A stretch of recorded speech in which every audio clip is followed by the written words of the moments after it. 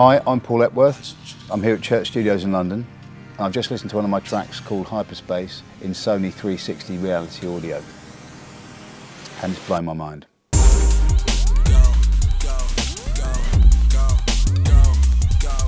I've just made a space concept album that's a lot like some of the records that were very popular to make in the 70s.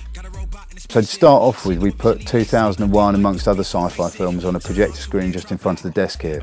We hunkered down for, you know, on and off for about five years. Really, it got to the point by the end of the record that I couldn't listen to it anymore. It was, you know, I'd heard it so much. Somebody played me a demonstration of this Sony 360 format I knew there was huge possibilities with what you could do. For me, it felt like the jump from mono to stereo, stereo to 360. Even the demonstrations I found almost like a synesthetic experience. If you shut your eyes, you know, sounds are flying around your head. You can feel the air moving behind you on the speakers, and even in headphones, you really do get this um, incredible sense of three dimensions. We gave the final stems to uh, a mixer named Chris, and I said, go for it. You can just do anything you like with it. Really, it doesn't have to be a representation of what stereo is. It can be fully psychedelic immersive experience. When I went to go and approve the final version that he'd done, it moved me to tears. The feeling for me was really like watching this 2001 movie, the point at which he goes through the Stargate at the end of the film.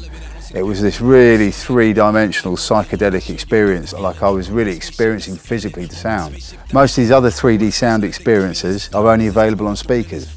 The beauty of this is that it's available to everybody on headphones. It's a real step forward and to the point where I'd love to actually make all my records in this format. I think in an age where we all use headphones, we all have our own personal devices to listen to music on, and music doesn't have to be a shared experience. There's something about this format that really allows you to disappear into another world. It's like virtual reality for your ears. It just, it definitely feels like I know that my ideas can be more fully realised given the fact this is available to me now. You can listen to my track Hyperspace on Sony 360 Reality Audio on music.com.